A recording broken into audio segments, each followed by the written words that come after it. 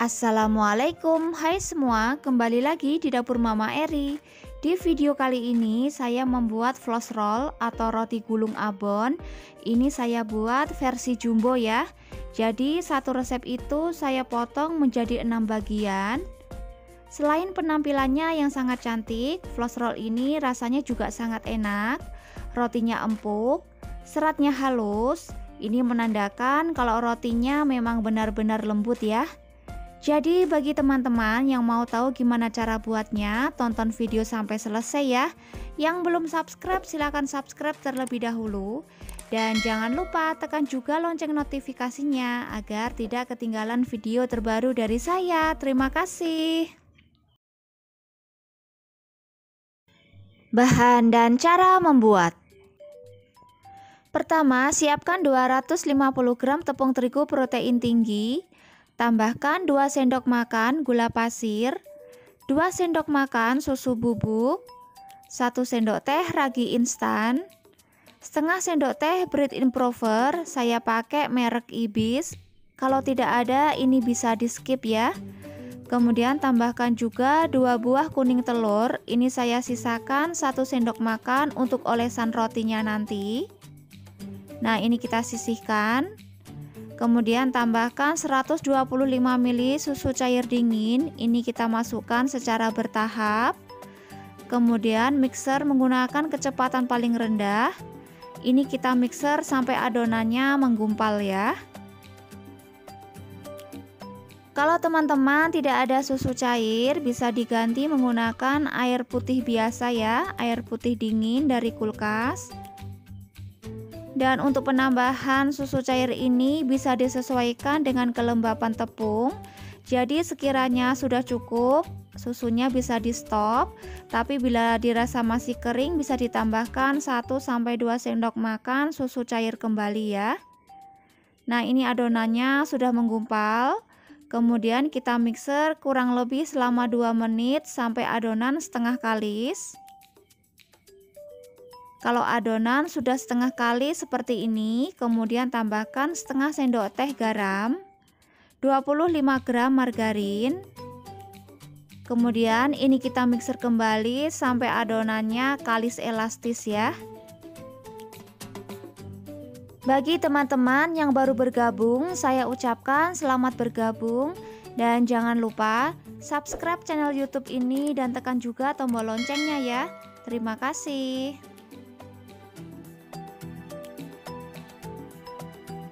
Setelah di mixer kurang lebih selama 10 menit, ini adonannya sudah kalis elastis ya. Nah, bila dibentangkan akan muncul lapisan transparan seperti ini.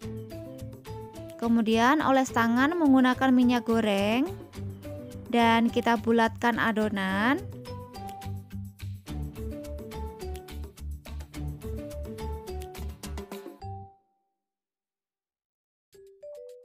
Selanjutnya tutup adonan dan istirahatkan selama 45 sampai 60 menit atau bisa disesuaikan dengan suhu udara di daerah masing-masing ya. Setelah diistirahatkan kurang lebih selama 60 menit, ini adonannya sudah mengembang dua kali lipat. Kemudian kita kempiskan adonan. Siapkan alas kerja dan taburi menggunakan sedikit tepung. Kemudian ini kita ulen sebentar kira-kira selama 30 detik untuk mengeluarkan udara yang ada di dalam adonan.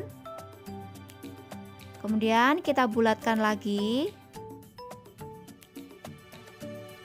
Untuk loyangnya ini saya pakai loyang ukuran 26 x 26 cm. Sudah saya oles margarin dan saya beri alas kertas roti. Kemudian adonan kita pipihkan sesuai ukuran loyang ya. Kita pipihkan berbentuk persegi seperti loyang tadi.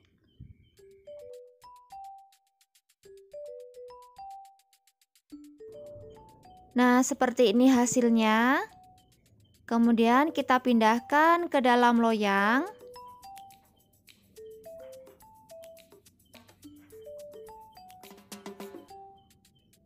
Dan kita rapikan bagian pinggirnya. Oke, seperti ini. Kemudian tusuk menggunakan garpu agar nanti adonannya tidak menggelembung ya. Nah, kita tusuk-tusuk aja seperti ini. Selanjutnya kita beri olesan. Ini saya campurkan sedikit susu cair ke dalam kuning telur tadi ya. Nah kemudian ini kita oleskan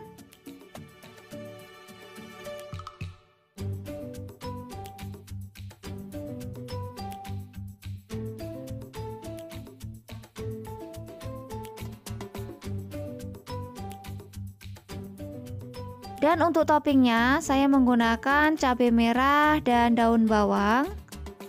Ini kita letakkan di atas adonan.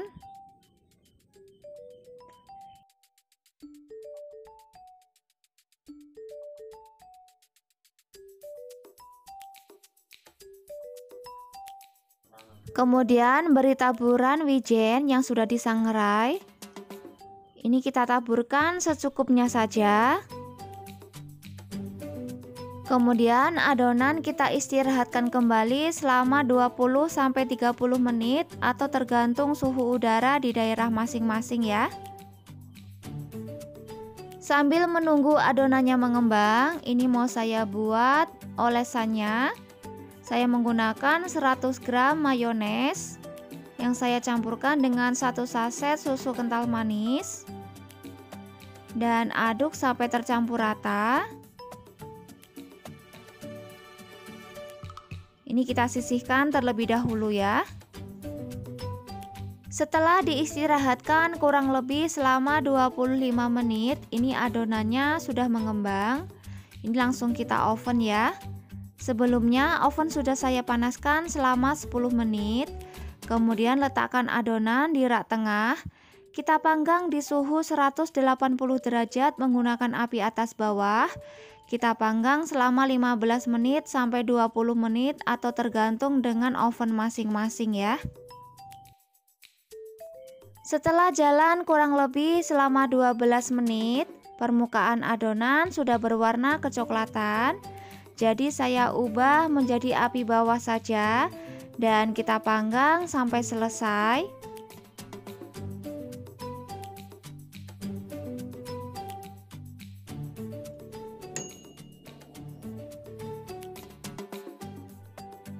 Sisir pinggiran loyang menggunakan spatula. Ini bertujuan agar rotinya lebih mudah untuk dikeluarkan.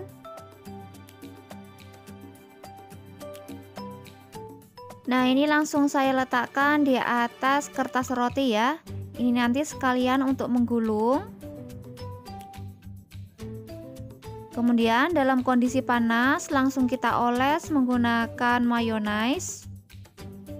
Nah, kita oles rata seperti ini. Selanjutnya, kita beri taburan abon secukupnya.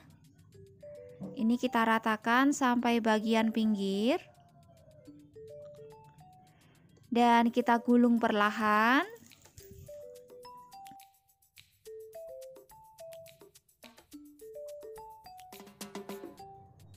Kemudian kita padatkan menggunakan spatula agar lebih rapi. Dan ini kita biarkan selama 10 menit agar nanti lebih mudah untuk dipotong ya. Nah, ini sudah saya diamkan selama 10 menit. Kemudian kita potong bagian pinggirnya agar lebih rapi. Dan ini mau saya potong menjadi enam bagian ya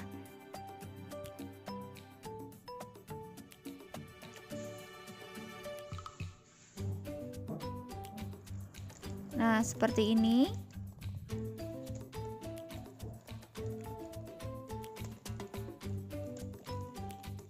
Kemudian beri olesan mayones di bagian pinggirnya. Dan kita celupkan ke dalam abon seperti ini. Sisi yang lainnya juga kita beri olesan mayones ya. dan sama kita beri abon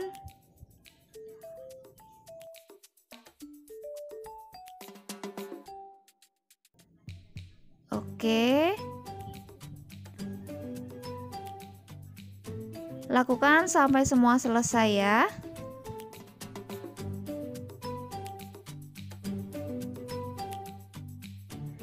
Oke, sekian resep dari saya. Silahkan dicoba di rumah. Dan terima kasih sudah berkunjung ke channel saya. Semoga resep-resep yang saya bagikan bermanfaat ya. Assalamualaikum.